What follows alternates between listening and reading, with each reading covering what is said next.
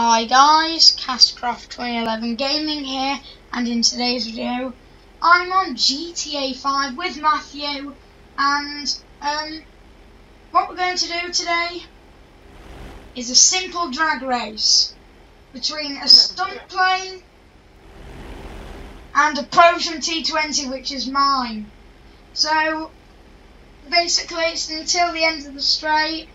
Um, I need to get enough speed to take off. I'm suspecting he'll win, but we never know.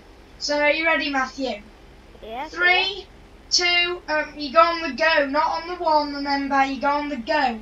Okay. Three, two, one, go! Come on!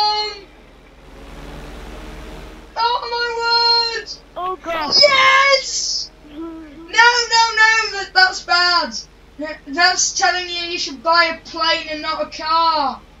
That's not what we do on this channel. That's not what we do on this channel. Oh god.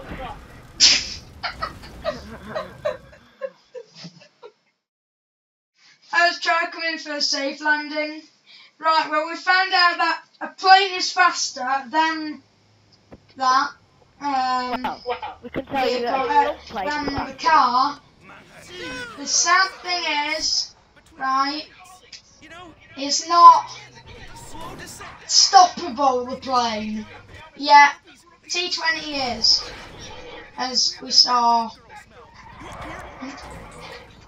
So, yeah, I recommend you go and buy a T20 now, because it has better brakes than a plane. Right, well, Uh, that was a load of fun. Anyway, guys, thanks for watching this video. If you liked it, please hit that like button because it's just so simple. It's just one little click, done. Makes me happy. Yay! Um, so thanks for watching this video, guys. Please subscribe for more daily GTA 5, Forza Motorsport 4, and Minecraft content. And there'll be a video coming out on Minecraft tonight. Anyway, guys, thanks for watching. I'll see you in the next video.